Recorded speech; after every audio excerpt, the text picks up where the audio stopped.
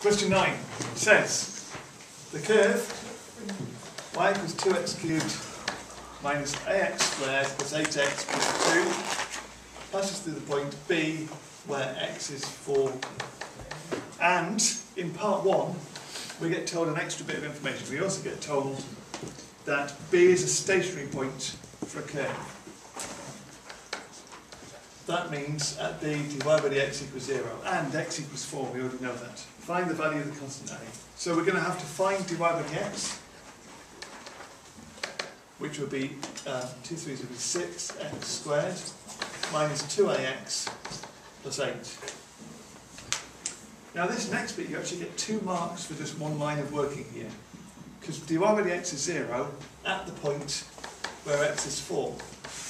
So if we do all of that together, 6 times 4 squared minus 2a times 4 plus 8 must be equal to 0.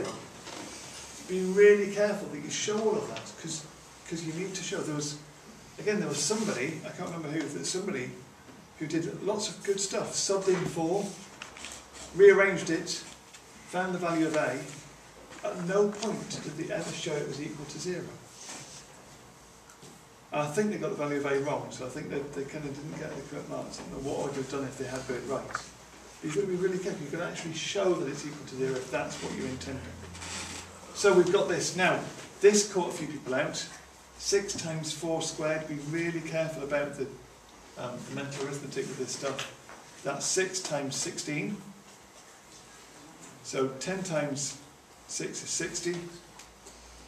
What are we doing? We're doing 6 times 16. 6 times 6 is 36. So we've got 96 as our value of 6 times 16. Take away 8a plus 8 is 0. So 104 take away 8a is 0. So 8a is 104. a is 104 of 8, which would be, what, 50, 52 over 4? So 26 over 2, so 13. Or however you work that out, however you want to arrive at the answer, that's the answer that you get. It's amazing how many people ended up one or two numbers out there with a 14 or with a 12 and 11 as the answer. Okay, part two. Now, this is where this got a little bit mean now. Because it says determine whether the point is a maximum or a minimum. Well, we know how we need to do this. To determine if it's a maximum or minimum, we find the second derivative, which would be 12x minus 2a. Except we now know that a is 13, so that's 12x minus 26. 13. It's 2a though. So 30. Oh, yeah, yeah. I think. So, um, if x equals 4, which is what happens at b, we've got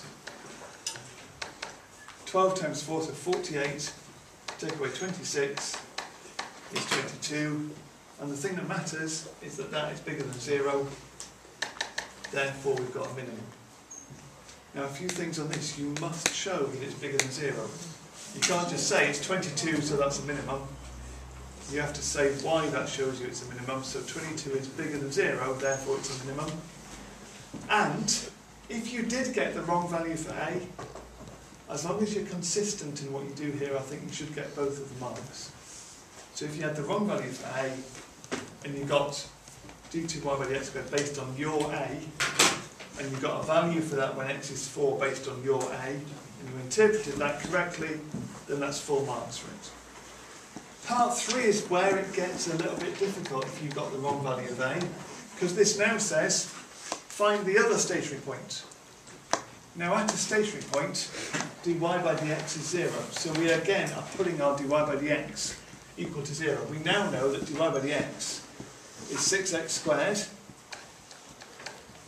minus 26x, because it was 2ax, plus 8. So that's the equation that we're solving. First things first, I would say that equation, let's divide by 2.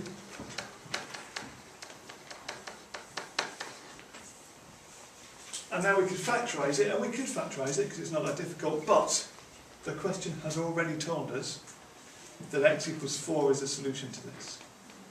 So one of the brackets has to be x minus 4. We just need to find the other one.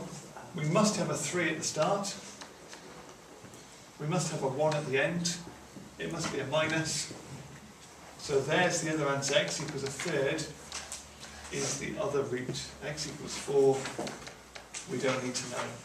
We already knew that one, x equals a third. I think it was difficult that, because if you got the wrong value of, of a, then you might have got that line, but you're probably slightly stuck beyond that, because there's a good chance if you got the wrong value of a, it wouldn't factorise anyway, and it certainly wouldn't have x minus 4 as a factor if you got the wrong value of a.